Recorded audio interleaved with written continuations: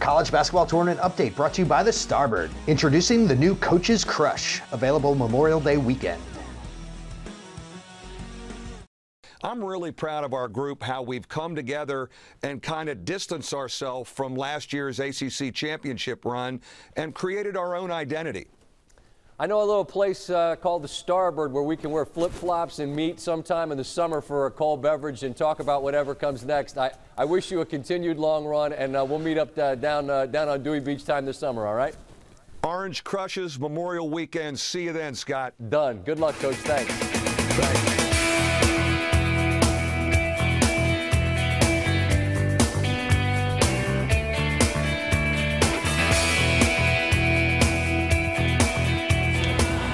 I personally cut every single one of these oranges for all 22,000 grapefruit crushes and orange crushes we sold this week. Just to make sure it's extra special.